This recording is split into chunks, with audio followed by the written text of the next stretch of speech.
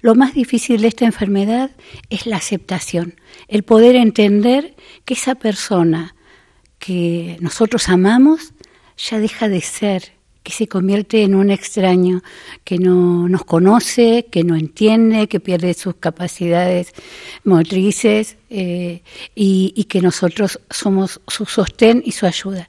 En esa etapa también nos sucede que nos cuesta mucho poder entender por qué se olvida por qué no, es, no entiende, por qué hace eso que está mal, por qué ya no hace eso que siempre hacía, como cocinar, como conducir el auto, como eh, cualquier de las sus, facultades que, en las que se desempeñaba o el trabajo, lo que fuere.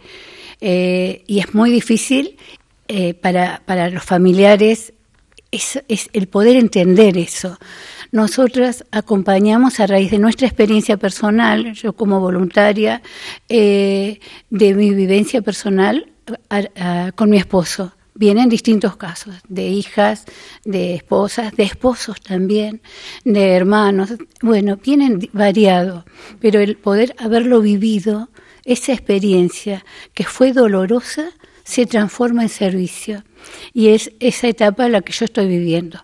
Alma a mí me ayudó en época de pandemia a través de los encuentros virtuales que yo desconocía eh, y me ayudó un montón en esa etapa de cuando uno ya está devastado y ya no puede más y me ayudó y me enseñó a pedir ayuda y me enseñó a elegirme, a cuidarme, aunque sea de a ratos, porque yo era de las que creía y sigo creyendo porque acompañé a mi esposo hasta último momento que como yo nadie lo iba a cuidar.